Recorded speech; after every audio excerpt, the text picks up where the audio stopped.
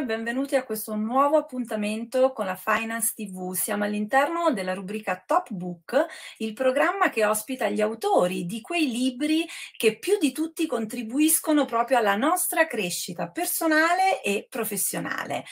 Abbiamo parlato che in un mondo di grandi cambiamenti veloci è fondamentale per i manager sviluppare proprio un nuovo modo di pensare, avere quindi essere più flessibili, più agili e in linea con i tempi. Vediamo bene però che cosa significa, perché le imprese possano continuare davvero ad innovare, a reggere il passo con i tempi e il cambiamento. Abbiamo oggi con noi Gianni Simonato, CEO Mentor.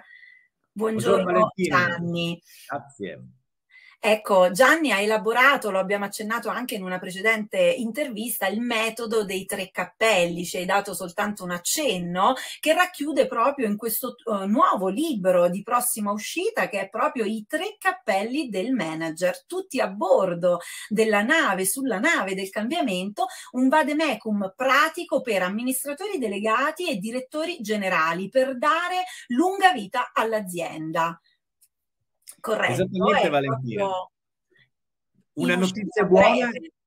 Sì, che ci stiamo lavorando, nel senso che, visti questi cambiamenti, è necessario sicuramente cercare di trovare metodi nuovi e sistemi. L'altra notizia è che comunque non è una cosa nuovissima.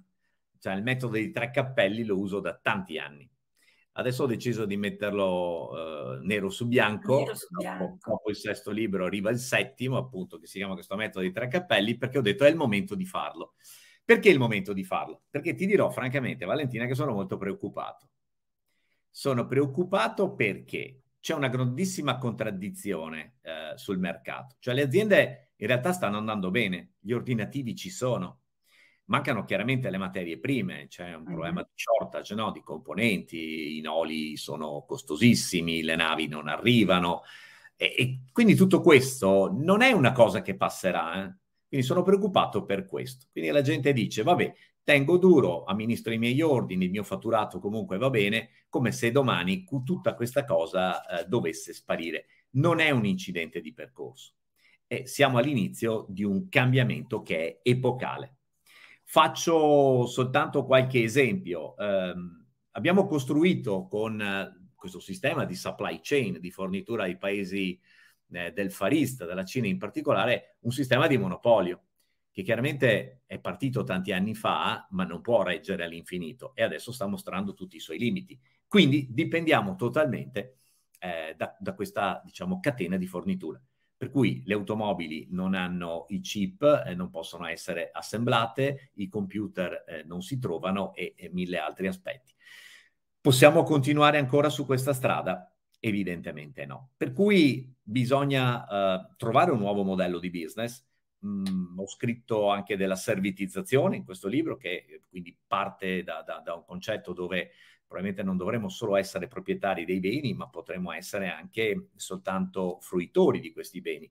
Una, un grande vantaggio della servitizzazione, per esempio, è il fatto che non abbiamo più il problema di scegliere il costo minore, ma potremmo addirittura fare prodotti molto costosi perché non essendo venduti, ma essendo affittati, chiaramente eh, posso permettermi di avere prodotti che addirittura abbiano un ciclo infinito, quasi che non si consumino mai vecchio problema del mercato consumistico, invece che bisognava evidentemente a un certo punto spegnerli questi prodotti non mi sembra una grande cosa che eticamente eh, ci rende onore. E tanti altri cambiamenti. Allora, come andarli a condensare? Beh, eh, evidentemente cominciamo dai leader, perché se non cominciamo da imprenditori, manager e numeri uno, poi il cambiamento non possiamo pretenderlo nei nostri collaboratori. Sono preoccupato perché l'80%, fonti abbastanza recenti di nostre indagini, di manager, non hanno la benché minima idea di nuovi stili di direzione, a fronte però di un mondo che è completamente eh, cambiato. Diceva Jack Welsh, eh, presidente di GE, che fino a qualche tempo fa era la più grande azienda al mondo, che quando il cambiamento esterno eh, viaggia molto più veloce di quello che è il tuo cambiamento interno, anche se il tuo cambiamento interno è comunque importante, ma fuori gira più veloce, diceva lui in inglese, che suona molto bene, the end is near. È una cosa che suona molto forte, quindi occhio come gira fuori, perché se gira molto forte molto più di quello che è il tuo cambiamento dentro, purtroppo l'azienda eh, non avrà un grande futuro. Condivido la preoccupazione, perché appunto questa accelerazione che in questi ultimi due anni ha veramente caratterizzato no? la vita di ognuno di noi, di fatto ci ha portato di fronte a qualcosa che è veramente quello che abbiamo chiamato tante volte, quasi ormai sono anche stanca di nominarlo così, un nuovo mondo, però di fatto questo è, e il nuovo mondo ha bisogno di persone nuove, cioè che siano diverse, non so se condividi, e che pensino un futuro diverso, perché altrimenti, come dicevi tu prima, prima lo citavo in inglese, la fine è vicina, no? Anche perché stiamo avendo davvero tanti elementi che ci dicono questo, quindi non so che cos'altro deve arrivare, che cos'altro deve accadere affinché ci sia finalmente no? quella spinta, quella motivazione che ti porta ad investire, ad attivare il cambiamento di cui tu parli. Ne hai parlato già, dicevi giustamente il discorso dei tre cappelli, ce l'hai anche raccontato, entriamo un pochino di più in quello che è proprio il dettaglio no, dei tre, proprio andando a disegnare quello che è il modello e la struttura del libro, eh, partendo proprio, ci sono attitudini, azioni, processi nella vita aziendale che devono essere la costante, a prescindere da tutto quanto il resto. Parliamo un attimo del cappello rosso, cosa ci puoi raccontare, quali attività sono prese in esame, qual è il livello di azione e di attenzione da dedicare a questo? Certo. Allora, dici bene, abbiamo bisogno di nuove persone, ma abbiamo bisogno di nuove persone o delle stesse persone con nuove menti? Perché il mindset si può cambiare. Quindi non potendo cambiare le persone, diciamo che necessariamente se vogliono governare questo nuovo mondo, devono cambiare il modo di farlo. Noi facciamo una formazione specifica, appunto, dei mentoring dedicati, perché nel giro di pochi mesi, eh, non è che serva molto, si... Ehm, ci si impratichisce di questo, di questo metodo di tre cappelli e si riesce a gestire l'azienda in maniera diversa. E vedo di spiegarlo in poche parole. Prima di tutto si parte dall'accettazione. Bisogna accettare che siamo non più in un mondo lineare, ma benvenuti nel nuovo disordine mondiale. Questo è un capitolo del libro. Benvenuti nel nuovo disordine mondiale.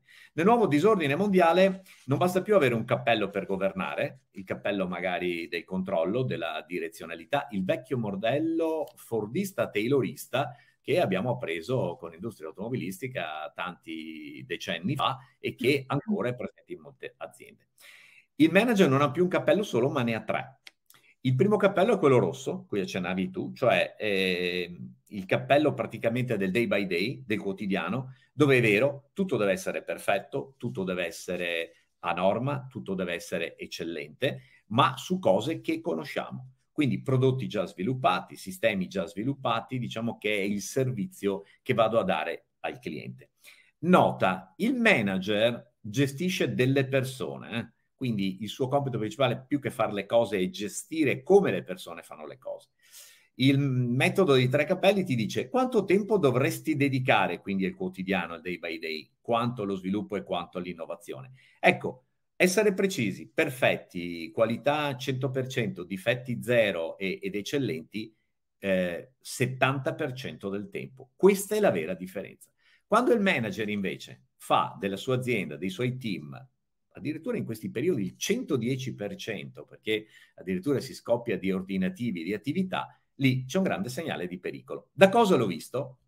Allora, Nokia ha avuto i suoi maggiori problemi nel momento in cui era il numero uno del settore e sappiamo tutti come è andata a finire. Eh, possiamo prendere Motorola, eh, tutti ci ricordiamo del BlackBerry e della rotellina. Eh, in Italia c'era un produttore di televisori, si chiamava Miva, eccellentissimo sul day by day, ma probabilmente 150% day by day. Quindi se ti fermi al 70 hai un 30, poi spiegheremo cosa fai con quel 30, ma quel 30 farà una grandissima differenza. Allora il manager deve imparare ad avere tre cappelli e per ogni cappello, ci tengo a dirlo Valentina, deve avere un'identità diversa. Lo spiegheremo meglio quando parleremo di innovazione, perché quando lui è sul day by day va benissimo l'eccellenza alla perfezione e tolleranza zero contro sprechi, inefficienze, ma non è tutto il film, perché l'azienda ha comunque un obiettivo di avere una lunga vita e quindi deve fare anche delle altre cose. Grazie, passiamo adesso ad analizzare invece il cappello giallo, quello che guardavano a essere il cliente. Di quale sfida parliamo per l'azienda? Questo è un cappello interessantissimo e poi nel libro ci sono sei interviste fatte a degli imprenditori che lo stanno utilizzando. Quindi questo metodo serve per le grandi banche, ma serve anche per le aziende che fanno un milione di euro di fatturato. L'importante è che ci sia un leader che dice, mm, mi sa che è vero che il mondo sta cambiando e che forse devo cambiare modello. Ecco, mi basterebbe questo, sarebbe già un buon prerequisito per poi installare eh, questi nuovi metodi e sistemi. Il cappello giallo viene fuori perché le aziende, quando diventano molto piene del loro day by day, vivono di prodotti e o di servizi che vanno ad erogare. Quindi il loro mondo è fatto delle cose che vedono e perdono di vista il cliente. Lo perdono di vista perché tanto abbiamo talmente tanto da fare nei nostri prodotti che praticamente ci innamoriamo molto di più dei prodotti che del cliente. Allora, una vecchia massima, sempre verificata e costantemente funziona, è che se ti innamori con il prodotto, finirai col tuo prodotto, perché il prodotto ha un ciclo di vita, a un certo punto finisce e quindi finisce anche l'azienda. Vedi il caso dei televisori o vedi il caso dei telefoni di cui dicevo prima. Se ti innamori del cliente invece, eh no, perché il cliente se lo segui è mutevole, cambierà gusti, preferenze, ma comunque è un cliente. Seguilo e troverai anche i nuovi prodotti da fare. E quindi ecco il cappello giallo. Cappello giallo è il cappello praticamente della, della proiezione in avanti. Di quanto tempo? Ma è possibile stimare un paio d'anni, eh, dove bisogna dedicare dei team specifici, pochissime persone, eh, rappresenterà un 20% del tempo uh, che deve essere dedicato dal manager, quindi 70 sul day by day, 20 sullo sviluppo sul cliente, però quel 20 io glielo controllo, Valentina, andandogli a bloccare addirittura l'agenda perché nel mio programma di formazione c'è proprio questo, cioè voglio vedere le 1760 ore o delle 2000 ore in caso di imprenditore leader molto staccanovista, come vengono impiegate.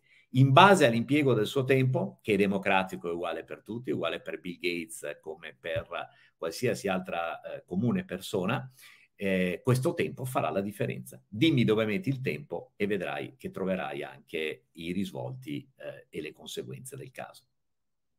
Grazie Gianni, davvero interessante. Quindi il cappello rosso, il day by day e il cappello giallo del cliente sono di fatto i primi due step o comunque i primi due cappelli che dobbiamo sapere indossare. C'è poi un terzo cappello di cui parleremo ampiamente anche nella successiva intervista.